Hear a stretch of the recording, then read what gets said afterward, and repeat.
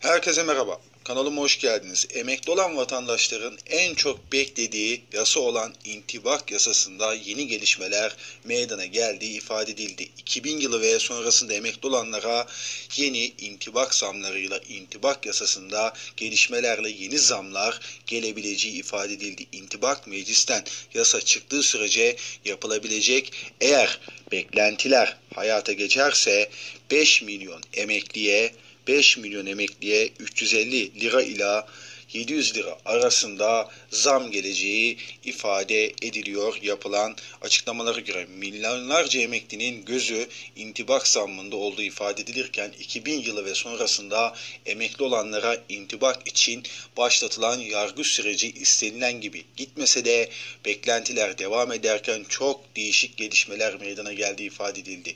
A Haber'de yer alan habere göre Türkiye Emekliler Derneği emeklilerin en önemli gündem maddesinin intibak olduğunu belirtirken bu konuda düzenleme yapılacağı konusunda umutlu olduğunu ifade ederken derneğin genel sekreteri Gazi Aykırı emeklinin intibak meselesini ilk gündeme getiren bununla yetinmeyip davalar açan yegane kuruluş TÜİK'tir dedi. 2000 öncesi emekli olanların intibak meselesini nasıl çözüme kavuşturduysak 2000 sonrası emeklilerimize de intibak hakkını kazandırmak için de çalışıyoruz. İnşallah en yakın zamanda bu yasa çıkacak. Yani düzenleme ile birlikte her emekliye de paralar farklı yansıyacak ama 2 milyon SSK'lı 5 milyon emekli bundan yararlanmış olacaktır ifadelerini vermiş durumda.